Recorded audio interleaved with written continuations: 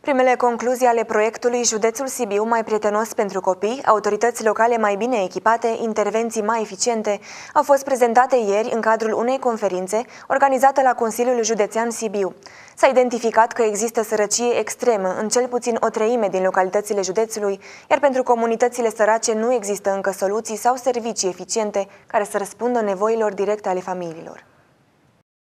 Sibiul este un județ cu o creștere economică foarte rapidă. Se află pe locul 6 la nivel național din punct de vedere al PIB-ului, dar încă există zone cu sărăcie extremă în cel puțin o treime din localitățile județului, iar pentru comunitățile sărace nu există încă soluții sau servicii integrate, scrie turnul sfatului.ro. Sunt încă în județ copii invizibili, care nu se află în statistici, ale căror probleme nu le pricepem destul de clar din statistici. Este momentul, spunem noi, a unei decizii coordonate la nivel județean. Diagnoza pe care o realizăm are o miză mare. Ea trebuie până la urmă, dincolo de cifre și de date, să ne dea niște soluții. Cum să facem ca acești oameni să iasă din sărăcie absolută? Cum să facem ca acele persoane care deocamdată nu beneficiază de sprijin adecvat pentru situația lor să devină participanți activi la viața comunităților, spune un consultant în domeniul serviciilor sociale.